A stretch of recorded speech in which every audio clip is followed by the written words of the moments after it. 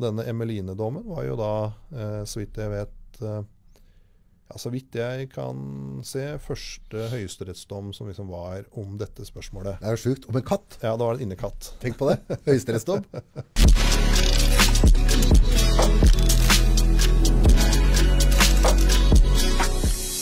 Tre, to, én. Velkommen til Nordpodden igjen. Maurits Årskog, advokat og, og gode greier. Takk. Takk for at du tar turen i dag òg. Dette blir Jeg gleder meg hver gang du skal komme. For det blir bare mer og mer spørsmål, da. Ja, nei, det blir bedre og bedre, får jeg håpe. Ja, Så jeg setter veldig pris på det. Det er veldig gøy. Det er mye, mye spørsmål som kommer inn til oss nå. Og minner folk på at det går an å slenge på spørsmål i kommentarfeltet eller på innboksen vår hvis det er ting dere ønsker å spørre mer ut om. Så skal han eh, svare ut av beste evne på det. Men det er klart, det er jo, du blir jo angrepet fra alle kanter her. Det er jo liksom ikke ett spor, da. Det, du blir sånn veldig sånn allmennadvokat, går det an å si det? Ja, det, det skal vi håndtere. Det Ja, det skal vi håndtere. Et spørsmål som jeg har fått, uh, fått fra noen folk her. Uh, det har vært en del debatter på det rundt på sosiale medier, og for så vidt i aviser. Husdyr. Mm. Når du leier. Ja. Er, er det noen sånn, noe tommelfingerregler rundt det? ja, det er det. Eh, både når du leier husrom, eh, og når du eier i f.eks. et eierseksjonssameie eller et borettslag. Ja. Eh, og reglene er eh, ja, egentlig ganske like, men vi kan ta um, leieforhold først, da. Ja. Eh, hvis man leier en, eh, en bolig et sted, så kan det være sånn at det står i kontrakten at husdyr det aksepteres ikke. Nei. Eh, det er jo ganske vanlig. Ja. Eh, og de fleste leietakere da, de føyer seg da etter det som står i kontrakten. Det er jo normalt. Aha. Eh, men det er sånn at det er ikke nødvendigvis bindende i alle tilfeller. Ok. Selv om det står i kontrakten. Ja, fordi man har en bestemmelse i husleieloven som sier at selv om det da utleieren har fastsatt at husdyr er ikke tillatt, så kan det tillates etter en eh, Eller så kan det ikke nektes da, etter en sånn skjønnsmessig vurdering. Okay. Eh, og det er jo en ganske vanskelig vurdering, men det er ut fra dels hvilke ulemper det kan påføre andre, mm. eh, men også hvilken betydning og verdi det har for leietakeren å ha det dyret. Og det mest sånn typiske tilfellet, det er jo eh, blinde som har blinde eller førerhund. Ja. Eh, Da har husleier en eh, dårlig sak. da har husleier en dårlig sak. Ja. Eh, eller da har leietakeren en god sak, og utleieren en dårlig sak. Ja. Og så, er det jo, og så går det jo liksom på mer og mer grensetid. Det er jo et yttertilfelle, ikke sant? Og så går det jo på mer og mer grensetilfeller. Altså innekatt er kanskje neste skritt. Det er jo det lite belastende for noen. ja, det Eh, river jo ikke filler vegger og, og gulv av det, kanskje? Så Nei. Nei. Så der, eh, så der kom det jo en dom eh, på 90-tallet som vel kalles Emeline-dommen. Det var da en innekatt som het Emeline. Aha. Eh, Som, eh, som da ble tvist om man hadde lov til å ha der eller ikke. Selv om det var bestemt at det var forbud mot husdyr. Ja. Eh, og da vant man fram at den kunne man ha. Eh, og tanken bak den regelen er det at for mange så kan da det å ha et sånn type husdyr som f.eks. innekatt ha veldig mye tid, si for livskvaliteten eh, til eh, den leietakeren. Eh, samtidig som om det ikke har noen eh, rasjonell betydning for eh, utleieren. ja. Så det blir en sånn avveining. Og så går det jo skritt og skritt videre. ikke sant? Vi starta med førhund og så er det eh, innekatt. Hva er neste? Hvis det er sånn Bernhard med ja. sånne spritgreier under som står og slavja. ja, altså, Sånn går det til kanskje til verste eksempel en kamphund, f.eks. Ja. Eh, eller i hvert fall det finnes det noen dommer på. Og, da, og, og Hvis du tar den rekka, så er det på et eller annet sted så vipper det over at ja, nå, er det, nå, må, nå står forbud mot husdyr seg.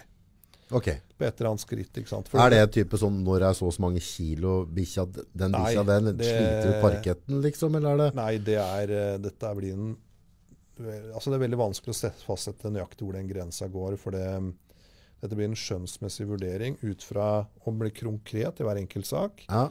Ut fra både hvilken betydning har dette for leietakeren, og hvilken ulempe eh, har dette for eh, omverdenen ellers og utleieren. ja. Så, det- så dette er veldig vanskelig, men det er avveining. Da har jeg på en måte gitt utgangspunktene. Er førerhund det er på en måte Det bør stå seg i ja, tilnærmet alle tilfeller. Ja. Innekatt, eh, det kan også kanskje stå seg. Og så går du videre og videre. Og så har vi også en del dommer på f.eks. kamphunder, som da kan være farlig for omgivelsene. Ja. ja, for da går du med på omgivelsene rundt naboer. Ja. Naboer og, og utleier, f.eks. Ja, for leier du et kjellerleilighet, og så har du En en skikkelig gnager i kjelleren. Så Litt sånn stress å klippe plena, liksom. Ja, så hvis du da tar leieforhold først, så er utgangspunktet at du må rette deg etter kontrakten. Hvis det står at det er forbud mot husdyr, det er utgangspunktet, og det er jo De aller fleste gjør jo det, for da har du skrevet under, der står det ikke sant, det er Mm, forbud. Da innretter man seg etter det. Eh, Men så kan det jo f.eks. for, for utleide komme en overraskelse hvis en leietaker som virkelig setter seg på bakbeina. Ja, jeg skrev under, jeg, det står det, men eh, det hjelper ikke. Jeg leser loven. Ja. ja, for det kan jo være sånn at eh, La oss si at, eh, at jeg, jeg leier hos deg, og så har jeg skrevet at jeg skal ikke ha husdyr og sånne ting. Eh, og så omkommer søstera mi, hun hadde en pusur Mm. som jeg er så fryktelig glad i. og Det, det er liksom det eneste minnet jeg har etter søstera mi. Mm. Og tanken avlive pusur eller gi han til noen andre, Mm. det klarer jeg ikke å forholde meg til. Dette betyr så mye for meg personlig. Så, så du knekker livskvaliteten hvis ikke jeg får lov til å ta pusser. Ja, og det, det kan være et typisk eksempel hvor du får det på, satt på spissen. Ja, Eh, og at du som leietaker eh, sannsynligvis kunne, kan stå på det. ja. Eh, og, og så blir det da samme vurdering Nå er det kampen, Rudolf, kampen Rudolf. Etter er broren det- min, så er det litt tøffere. Det er mulig det kan være like mye eh, emosjoner da, men det er nok litt vanskeligere. ja. Ja. Og så blir det noenlunde samme vurdering i borettslag, hvis du er andelseier i et borettslag, eh, eller hvis du er sameier i et eierseksjonssameie, Mm. eh, og borettslag eller sameie har fastsatt at det er forbud mot uh, husdyr, så er det samme vurdering der også. Ok, det er et forbud, man må akseptere det. Er det utgangspunktet at det gjelder. Mm. Eh, men loven sier at ikke nødvendigvis. Altså det kan bli satt til side. Ja. Og Da er det akkurat samme på en måte, grensedragningen som jeg har dratt opp nå, Mhm. som må gjøres konkret i hver enkelt sak. Og Denne Emeline-dommen var jo da, eh, så vidt jeg vet eh, ja, Så vidt jeg kan se, første høyesterettsdom som liksom var om dette spørsmålet. Det er jo sjukt. Om en katt. Ja, det var en innekatt. Tenk på det. Høyesterettsdom. Det er ganske sykt. Ja, det var, eh, så da, da velger folk å gå et langt, eh, et langt skritt da, for den katten. Men eh, Men altså, hvor, hvor begynner det? Begynner det et forliksråd, eller begynner det med krangling i postkassa? Altså, hvordan, hvordan havner noe sånn opp i høyesterett? nei, det, det går den vanlige gangen. Det er nok eh, vanlig at det er kanskje krangling i postkassa først. Ja. Og så er det litt sånn gnisninger da, mellom disse naboene. Og, og, så, mm, og så blir eh, f.eks. hvis det er et borettslag, så blir kanskje styr, noen eh, andelseiere går på styret og sier at nå må dere gjøre noe med dette. Det står jo i, i våre vedtekter at her er det forbud mot dyr. Og så er det en nedi gangen her som eh, egentlig gir litt blaffen. Og så går de til en advokat, og så kan du starte en prosess som, eh, i forliksråd eller tingrett, og så går dette oppover. Så det er mulig, men det er klart Det det blir veldig kostbart. det er jo den katten blir dyr, da. Ja. Det, det gjør det jo sånn. Men, men det finnes eksempler på det. Ja. Det er det. Og det, dette det, handler jo om at kjær... Ja, altså Da er det jo fordi det er et kjæledyr som har en betydning utover, eh, Ja, utover vanlige. pengene. på en måte da. Ja. For å skli litt videre der igjen, borettslag. Mm. Der, der kjenner jeg at jeg bare, altså bare ordet borettslag, så får jeg et sånn anstrengt forhold. For, ja, da bare skyter jeg i vilden sky her. Ja, Men ofte styret i borettslag da, ja, er uh, ofte besatt av mennesker som uh, har litt bedre tid enn den som jobber fulltid og litt til, uh, og har veldig god energi til å starte prosjekter. Uh, det er, det er sånn der du får tredd over huet. Nei, nå skal vi ha ny hekk, liksom. Dette skal vi grave, til, må bare være med og betale. For det har vi bare funnet ut i borettslaget nå, at nå, nå skal vi reie minigraver, vi skal sette hekk, og her må ting, du må være med på dugnad. Og så kan du si at ja, men dette var helt ålreit som det var. Ja, men dette er bestemt. ja, det er jo ja, det, Sånne situasjoner kan sikkert oppstå. Det er jo Styret har jo en har jo en viss myndighet. Ja. Eh, Og det jeg òg forstått har skjedd i Oslo, er at styret, hvis du da leier ut leiligheta di, og du er bortreist, du, du har ikke noe interesse, mm. så gir du din stemme over til styret. Så det, jeg prata senest med en som bodde i Oslo der, som ble utgangspunktet overkjørt av styret. For styret har da fått stemmene, for det var, halvparten av de leilighetene var leid ut av folk som har kjøpt dem og spekulert i dem. Og så satt igjen noen der som da eide leiligheta og bodde der, men så satt de på styret med da stemmeretten til Ja vel, ja, altså Sånt har jeg ikke vært borti før. Nei. Men uh, Jeg skal ikke utelukke at det kan være sånn, men uh, det har jeg ikke, sånt har jeg ikke hørt om. Men, men i borettslag så vil det jo kunne oppstå interessemotsetninger. Eh, og da har man jo som utgangspunkt eh, eh, flertallskrav på generalforsamling. ja, Og så, men så har man altså regler om såkalt myndighetsmisbruk. Da, at selv om man er i flertall, så kan man på en måte ikke treffe beslutninger som i for urimelig grad da, er belastende for noen. Nei. Så det er et, det er et velutvikla regelverk rundt det. Men eh, at det kan oppstå mye konflikter, det, det er klart. Du ser, er det Narvestyle? Altså det, det er jo, vi har jo noen serier.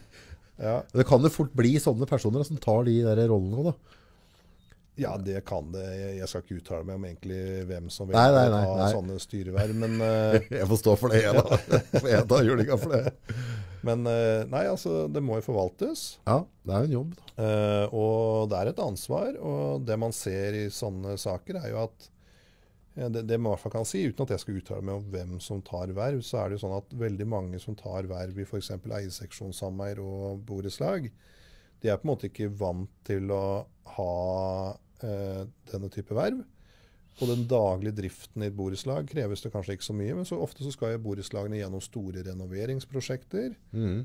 Eh, hvor det, og, ja, som et eksempel, hvor det er veldig mye penger inne i bildet. Det er kontrakter, det er eh, ja, egentlig veldig mye som står på spill. Satt i situasjoner de ikke er vant til, og, og, Ja. og forholde seg til entreprenører som skal prise på ting og ordne og styre. Og, Ja, så det, er, det har jeg jo flere eksempler på nå.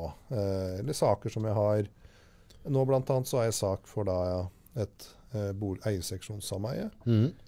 eh, som eh, da skulle eh, legge nytt tak eh, og engasjere en entreprenør. Eh, det er jo et uh, prosjekt til noen millioner, ikke sant? Eh, Det er ikke noe stort sameie, så det er ganske Ja, så det er en del. Um, og så og så er man kanskje ikke vant til uh, å liksom lese kontrakter og sånn, og da kan det jo fort uh, ja, oppstå vanskelige situasjoner. Da. Så, så det man ser, er jo kanskje at den, van, den daglige driften av borettslag og sameie, det, det går på det jevne. ikke sant? Men når man kommer opp i litt sånn ekstraordinære situasjoner, så kan det av og til være klokt å kanskje engasjere noe Det koster på seg å engasjere litt bistand, da. ja. ja, for det kan være lurt. Da, og det, det er jo det er mye penger, da. Ja, sånn særlig byggeprosjekter. Enten at det kan være advokat som ser på kontrakten, eller at det kan være en byggeleder som følger opp et byggeprosjekt. Mm. For det ser man jo mange eksempler på at eh, Nå skal ikke jeg snakke negativt Nei, nei, om aktører i byggebransjen, men det man ser ofte at uh, hvis man skal prøve, altså Man ser noen eksempler noen prøver å være litt lure, og da, da kan jo typisk sånne styrer i et borettslag bli ansett som et litt lett bytte. Da, ikke sant? ja, klart det. Hvis man skal prøve å få til litt ekstra. Ja. ja, dette er jo sikkert en ganske slippery slope det også, for det, hvis da vi bor i et borettslag sammen, og vi skal legge nytt tak, så er det på en måte søskenbarnet mitt, han driver med tak. Vi får et, Ja. uh, vi får et pristilbud av han. Ja. Eh, Så kanskje du sitter etterpå, var dette helt riktig liksom? Og så, Ja, og da er vi igjen til noe vi snakka om en gang før. Eh, de, vet ikke ofte hva de får. og Er det et pristilbud, Ja. er det et prisoverslag, eller er det en uforpliktende prisantydning? ja, Eh, og hvis man ikke har vært borti dette før, så er jo ikke et, eh, den gjengse styremedlem i et borettslag kval kvalifisert til å egentlig bedømme eller forstå da de forskjellene. jeg sendte et prisoverslag. Gjorde du det? Ja. Ja, det er det. ja, nei, det, det, det Så jeg var litt nøye på ordlyden Ja. der. Men jeg føler meg veldig trygg på det. Altså, det er ikke stor jobb, og jeg føler meg veldig trygg på at jeg er innafor på den prisen. Ja, Uh, Men så har jeg noen variabler i forhold til med kjøring, for det er et stykke unna. Så det kan kanskje variere på noen timer. Så da tenkte jeg liksom, istedenfor å klemme et pristilbud, så tok jeg prisoverslag. ja, eller du skulle kanskje tatt også en prisantydning. Ja. Så hadde det stått enda friere. I hvert fall hvis du har et håndverker. da. ja. Så mm, Jeg følte meg ganske trygg på den, da, men da, da vet jeg liksom, da har jeg, kan jeg liksom plusse minus noen timer hvis det jeg tror, jeg tror jeg skal slippe det der. Jeg pleier som regel å treffe på prisene mine, men mm, eller at jeg, i hvert fall, jeg liker å stå for dem. da. Ja. Har jeg sagt en pris, og så ok, taper jeg litt på, så får jeg bare gjøre det. Så får jeg lære til neste gang. Sånn er det vel med de fleste. Nei, men det, For å ta dette med eh, borettslag, så er det Der oppstår det mye. Eh, og dette med husdyr, det er, men det er sånn typisk problemstilling i borettslag som liksom irriterer mange, og så blir det en liten sak ut av det. Og det er de færreste som havner i Høyesterett, for å si det sånn. Ja. Men eh, den Emelin-dommen er jo et eksempel på at faktisk en sånn type sak Mm. blir drevet helt fram. eh, og opp i vår høyeste rettsinstans, da. Det er sprøtt. Det er Ja. eh, ja. Eh, det kan du kanskje mene. Jo, men for dyr så er jo noen hele livet, da. Så, så Vi Ja. må jo bare erkjenne liksom at uh, hva du føler for, og hva jeg føler. Det er forskjellig. ja. Og noen så er det helt avgjørende for deres lykke. da. Det er det. Så, nei, så det er en typisk, uh, typisk ja, kilde til, um, til tvister, da. Mm. I borettslag og i leieforhold og i eierseksjonssameie. Skal vi se. Nå er neste spørsmål dette er, og det er jo litt, Der har jo forhold til med den Emeline-saken, hva kalte det? Ja. Fri rettshjelp! ja. Altså, hvem er det som har hvem, Hva er grovskissa rundt fri rettshjelp? Hvem har krav på det? Og er det noen Ja. begrensninger her? Hvordan, hvordan funker Ja, dette her? Dette med rettshjelp. Ja, altså dette er jo viktig hvis man skal vurdere å engasjere advokater i ulike sammenhenger. og Da har man jo for det første sånn private rettshjelpsordninger som er forsikringsselskapene. Ja, det var inne på ved første podden, var vi ikke det? Ja, Jo. eh, og det er jo noe som de aller fleste har i sine forsikringer, som man kanskje ikke visste om, men som eh, man bør eh, Alle jeg har prata med etterpå, og så bare Hæ? Jo, jo, da må du gå les. les for Ja. du, har Forsikringa di på huset, det gjelder det, liksom. Ja, Så så, bare- det, det, det, er, eh, det, er gode, eh, ja, det er gode produkter å ha hvis du kommer opp i tvister. Det vil si da, For dem som ikke hørte første øh, den podden der, så var det det rett og slett at i forsikringene så har du da ofte en rettshjelpforsikring. Ja, det ligger rettshjelpsforsikring eh, inne i boligforsikringer, innboforsikringer, eh, bilforsikringer. Ja, det aller meste. eh, Så har jeg en entreprenør som kommer på tomta mi, og så veiver den i halve huset. Eller veivende et eller annet, og så tenker jeg sånn Ok, dette koster meg 40 000 å stelle opp igjen. Så vil jeg da, som veldig mange andre, tenke på at ja, skal jeg leie en advokat, så koster det meg sikkert 40 000. Så tar det masse tid. Jeg skiter i det. Men hvis jeg ser etter i forsikringa da, eller kommer inn og prater med deg, mm, så koster det meg faktisk ikke 40 000. Nei, det, er, eh, det gjør det absolutt ikke. Da tar forsikring av dette, og så at man sitter med en liten egenandel. Så det er på en måte den private Ja. delen av det man kan Det er jo ikke fri rettshjelp, men det er for forsikringsdekning. Ja. Og så har man den offentlige delen av det. Mm. Eh, da man har jo en rettshjelpslov, mm. og tanken bak det er jo at eh, samfunnet har jo på en måte gradvis blitt mer og mer rettsliggjort. Mm. Det er på en måte viktigere og viktigere å kjenne sine rettigheter og på en måte kunne hevde de rettighetene man har. Eh, og så har man da, har da eh, våre fol- folkevalgte sagt at visse om rettsområder er så viktig for velferden og, og for det enkelte individ at det kan vi ikke være opp til den enkelte om man har råd til en advokat eller ikke. Da skal man ha en advokat. da. Da skal man ha rettigheter på det. Ja, og da betaler staten eh, den regninga. Så advokaten forholder seg til staten. Og det mest typiske, det er jo ikke sant, eh, de aller fleste straffesaker. Ja. Eh, ikke alle straffesaker. Bl.a. Uh, hvis du blir ilagt et forelegg og vil prøve det for retten, så er det ikke sikkert at det omfattes av rettshjelpslovgivningen. Det kan være at jeg kjører ut belte, eller altså jeg mener at jeg ikke har gjort altså sånn type små forelegg. Ja, det, det vil ikke nødvendigvis omfatte. Men de aller fleste straffesaker, eh, det er jo da jobber forsvarerne og, på salær fra staten. Ja. Det er jo fordi eh, alle på en måte skal ha rett til et forsvar, uavhengig av liksom din økonomi. Kan jeg da velge advokaten sjøl, eller er det staten som velger advokaten for meg? da, da er det som utgangspunkt et fritt eh, forsvarervalg. Ok, Så eh, det kan du velge sjøl. Så da kan jeg på en måte, hvis jeg er i en sånn situasjon der staten tar ut en sak mot meg i en straffesak, så kan jeg ringe deg og spørre kan du ta den saken, Ja. og så ordner du regninga med staten. ja. Så det, det, det i, Er det uavhengig av hvor mye penger jeg tjener? I straffesaker så er det det. Ok, så Du- om jeg da er, eh, tjener 10 millioner i, måneden, Og du blir tiltalt for et eller annet litt grovt, Ja. så, så gjelder det helt eh, Det er ikke behovsprøvd. Ok, det hadde jeg trodd at det var liksom sånn der, tjener du mer enn så og så mye, så får du betale selv, gutt, liksom. Ja, men ikke, man, har- man, Ikke Staten på- har på en måte sagt at straff, når liksom staten skal gå inn og straffe noen, så sier man bare at da skal alle ha rett til en forsvarer. Ja. Uavhengig av liksom uh, alt. Uh, Da står jeg helt fritt til å ringe deg hvis jeg ønsker det. Det Ja. er ikke sånn at jeg må forholde meg til hva staten leverer ut. nei, da er det helt fritt. Da er det fritt forsvarervalg. Ja. Um, og forsvareren forholder seg til, eller til domstolen til staten, da, så sendes alle ære Ja, dit. ja. Og så har man um, en del andre områder som er såkalt behovsprøvd. Ja, Det vil jo typisk si områder som, eh, som man mener at det er også viktig at man skal ha en advokat, ha Mm. noen til å bistå seg med å få eh, rettighetene sine. Eh, men liksom blitt ansett som litt mindre viktig. Typisk er jo samlivsbrudd og sånn. Oh, ja.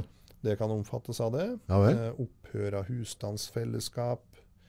Eh, visse leietakerforhold. Ja vel. Eh, Det, da kan faktisk du trygge, ha trygdesaker. Eh, det kan være i visse arbeidstvister. Ja, Så det er eh, også en rekke områder som da er omfattet av rettssaksordningen, men behovsprøvd. Og det vil si at eh, enhver kan ikke bare gå og si nå jeg skal ha fri rettshjelp, men hvis du da har en eh, hvis du ikke har noe særlig formue, og du har en inntekt som enslig mm. på ikke over eh, 246 000 i året, ja. Og hvis du som ektefelle, eller ektefellene samlet, ikke er over 369, er det vel, mm. eh, så kan man da ha krav på fri rettshjelp. Ok, men har jeg mer enn det, Så så, får du ikke, for da er det, da er det behovsbrudd. Da sier man at ok, da har ikke du et sterkt nok behov til at staten skal ta den regninga. ja, Og der er det ikke noe gråsoner. Er du over det magiske tallet, så er det Så er det over. glem det. Ehm, Så da, da Det er litt dårlig gjort, da. Liksom bare 1000 kroner over. Bare, du har akkurat samme behovet som 1000 kroner under, egentlig. Ja, men må, et sted må Et må- ja. grensa settes. Og, da, og det kan jo gå enten på at man bruker de tre siste lønnsslippene f.eks. Ja, at man bruker skattemeldingen for foregående år da, for å sannsynliggjøre om man er under de grensene. Okay, okay, Ja. Eh, så det er jo viktige ting å være Så hvis jeg har tjent godt i fjor, da, men dårlig i år, så kan jeg på en måte vise Da i kan du kanskje prøve lønnsslippene først. Ja, ja. så vil sannsynligvis det gå. Ja. Uh, nei, så det, det er viktig å være klar over, og da, og da skal man på en måte heller ikke være så redd for å gå til en advokat, for da, da er det under disse fri rettshjelpsordningene. Så det er jo sånn som er um, ja, fornuftig å ha litt kjennskap om. Så det, altså, trygde, du nevnte trygdesaker. Det kan jo være type saker der folk føler at de ikke får riktig trygd, eller ditt eller datt. Ja, Og hvis de da tjener under de 200 og eh, som enslig 209 og, nei, 46, unnskyld. 246 Og, eller hvis det er ektepar 369. Ja.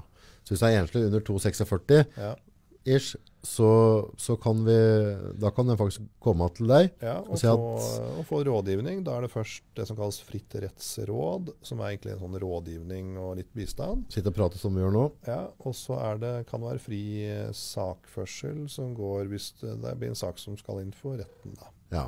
Og da kan på en måte du, staten sørge for at du får eh, midler til at du kan sette deg inn i min sak, Ja, og, og begynne å, å høste inn Og den informasjonen du trenger. ja, For å, å si at enten så tar dere dere sammen nå, og så gjør dere et eller annet med dette, her, eller så går vi til sak. ja. Og da er det klart Staten er ja, sånn noe ganske restriktivt, og det bør man jo også være. Det skal ikke være noe carte blanche bare sende regning til staten. ikke sant? Nei. Staten har sine satser som, eh, som man mener på en måte det er det forsvarlig å, å bidra med. da.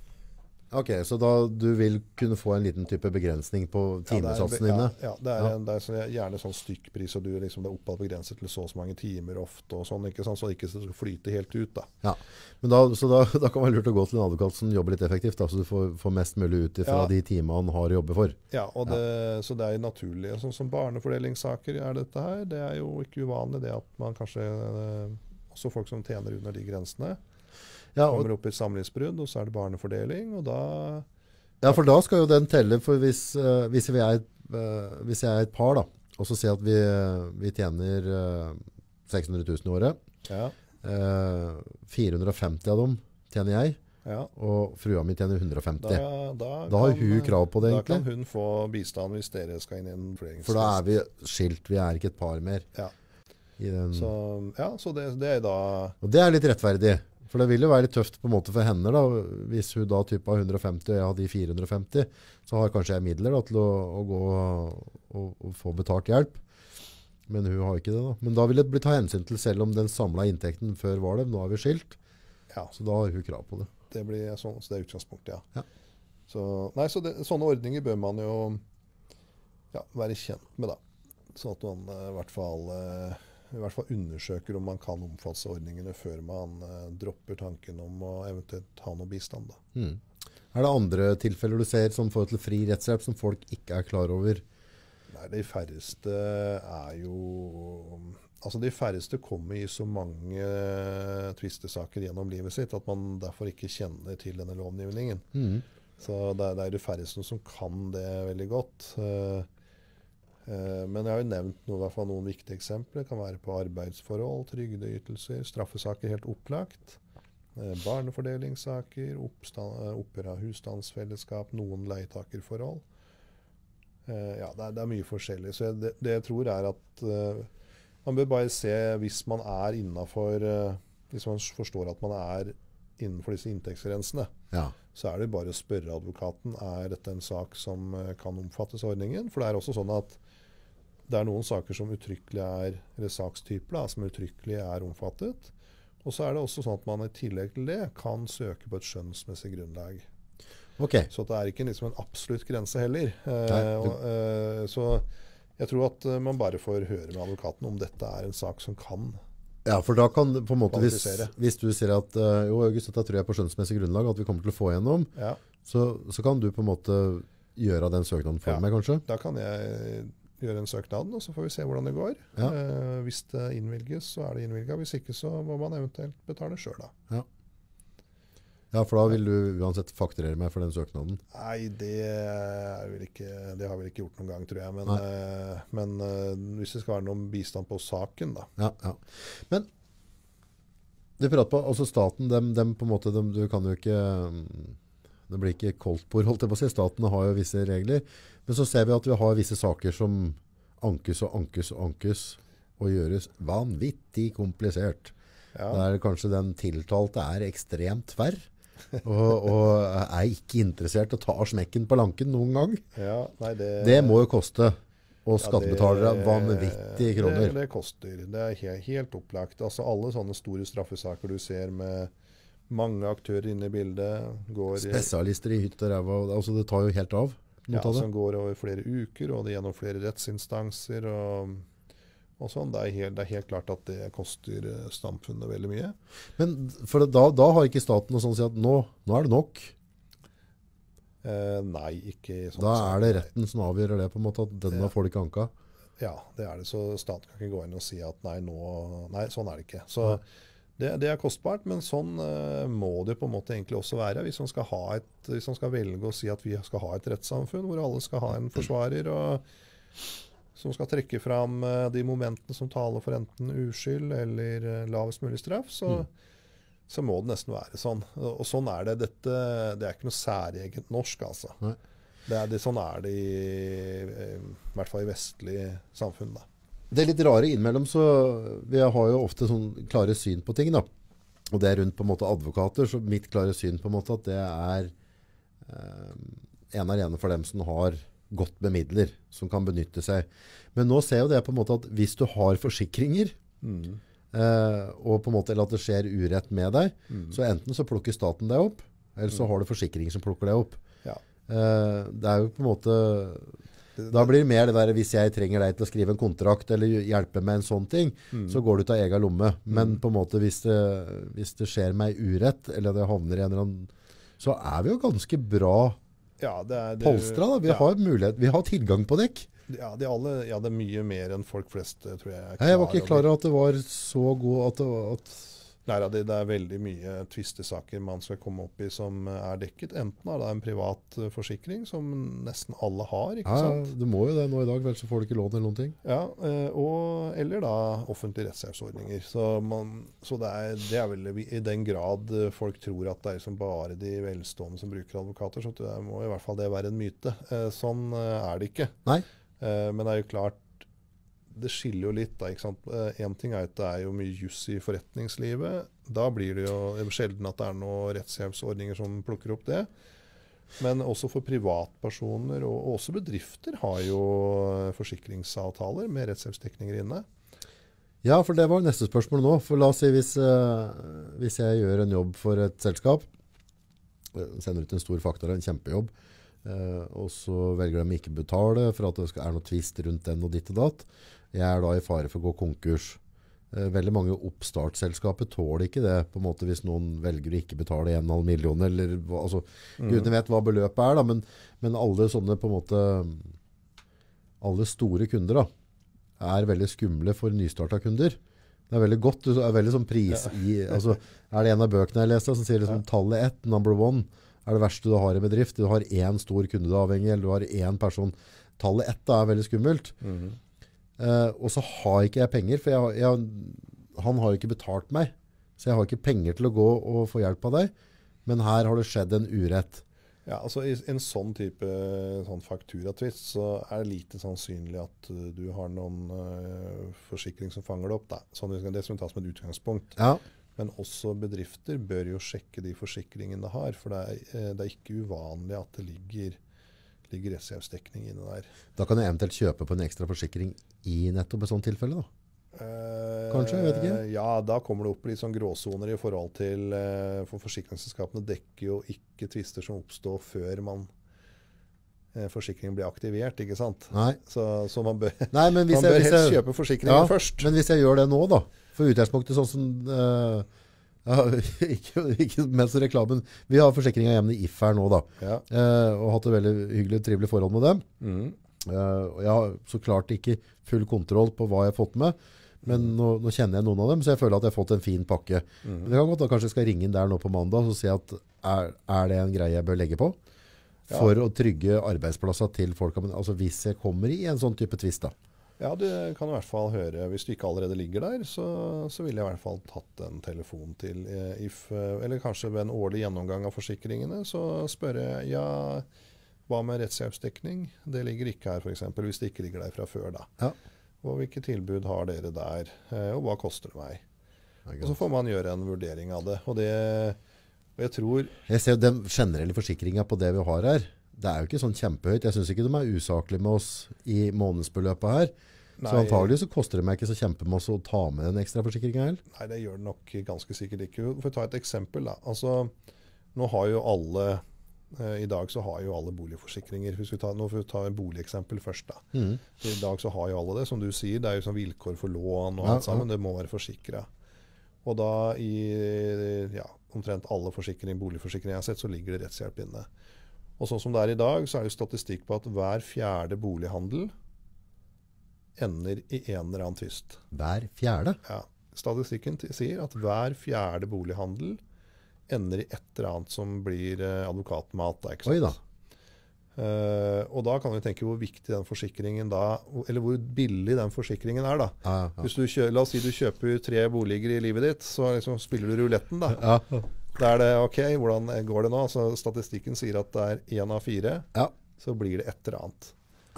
Og med oss Eh, iboende faenskap da, så vet vi hva som skjer. Gjør vi ikke det, Børis? Ja. Da treffer vi den. Og da ja, så Det viser hvor viktig det er. Og da egentlig hvor billig den, etter min oppfatning, da, hvor Ja. den forsikringen er. For den er så viktig når det skjer. Ja. At du da ikke skal måtte stresse fordi du synes er redd for det kommer en stor regning. og At du vet at du får den bistanden du skal ha. Du blir ivaretatt for å sikre mm. dine interesser på en grei måte. Eh, så Er det ikke alltid sånn at når det skjer, så passer du aldri helt? Det skjer jo aldri nå når liksom, du har en feit lommebok og du har muligheten til å bare gasse på. Det, jo, det er jo ikke sånn det er. Det passer jo aldri. Nei, Når det havner en tvist. Sånn, eh, ja, det er sikkert riktig. Det passer, ja, det, Tvister passer vel aldri for, Nei, nei, det gjør det ikke. for andre enn advokatene, kanskje. Men, uh, Nei, men det, det er viktig, altså. Og det er uh, viktig å være obs på disse forsikringene, for du ser, som jeg tok i boliger som et eksempel, liksom, hvor mange bolighandlere faktisk blir tvist. Mm.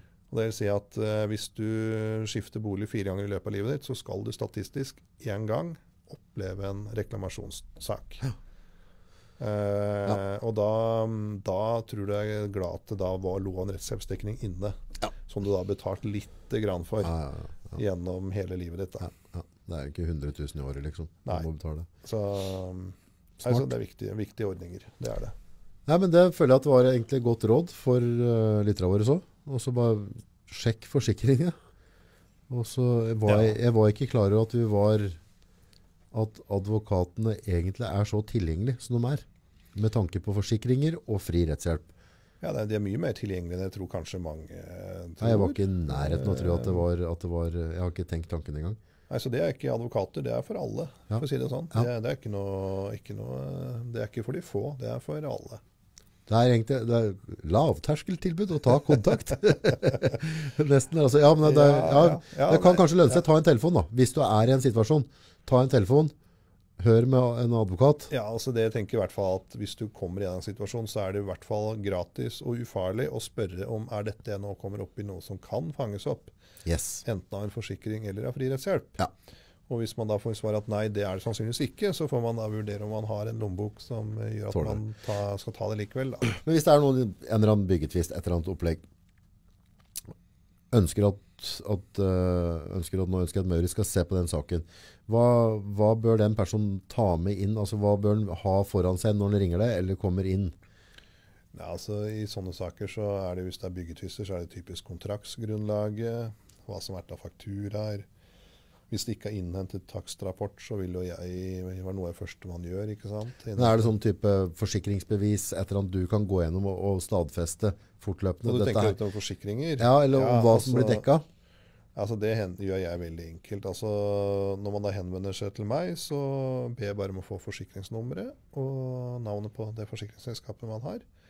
Så er det bare å ta en telefon inn og avklare eh, hva som ligger der. Det, det er sånn, Så mest sannsynlig dagen etterpå så har jeg svaret fra deg. Dette kan jeg hjelpe deg med, eller ikke. Ja, dagen Eller, altså, du kan hjelpe uansett, men dette får du, Sannsynligvis så tar jeg det allerede. Ja, det går veldig, veldig fort. Ja. eh, For å få et svar fra forsikringen på om dette er noe som kan dekkes. Og så må du ha en formell dekningsbekreftelse. da. Ja. Men eh, det er bare å sende en e-post stort, stort sett til forsikringsselskapet, og så kommer det en bekreftelse etter hvert. Så han trenger ikke være nervøs for å ringe deg. Altså Hvis jeg er i tvil, så er det bare å, å slå på Trond, Det, det er det, og det og så får jeg svar rimelig fortløpende rundt den biten. Ja, Ja. det er det.